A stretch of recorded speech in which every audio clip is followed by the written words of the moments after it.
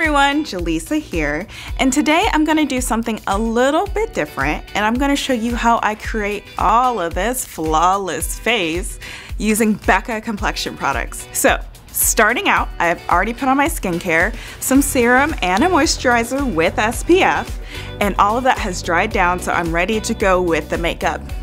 I've already applied my brows and some concealer around my brows to help shape them. So the first step is primer and I'm using the Becca Backlight Primer. This primer is a lightweight whipped fluid that creates a smooth canvas and acts as an instant filter. I just pump two or three pumps and apply the primer with my fingers. It doesn't settle into pores or fine lines. And Becca is known for their glow products, and as you can see, this primer is no different. Now, as you can see, I have some hyperpigmentation from acne scars and I have some darker skin around my eyes and around my mouth. So something that I do to make sure that my face is flawless is I use a deep orange color corrector on my problem areas. To make sure that the orange doesn't lift when I put on my foundation, in just a second, I set the color corrector using the Becca Hydra-Mist Set and Refresh Powder. I just dab a little on with a fluffy brush and let that set. And what I love the most about this powder is that it is formulated with 50% water and glycerin, and it literally cools your skin as you apply it. It feels so good. so the next step is foundation, and I am using the Becca Cosmetics Ultimate Coverage 24 Hour Foundation. Now, if you don't like full coverage foundations, then this is not the product for you. this is honestly one of the fullest coverage foundations I've ever used.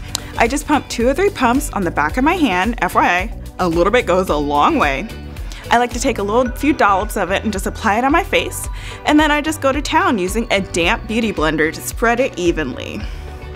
This foundation has a 24 hour wear, it's non-acnegenic, and it's water resistant for us sweaty girls. so I'm using the shade 6W2 Truffle, which is described as a very deep coffee with warm undertones.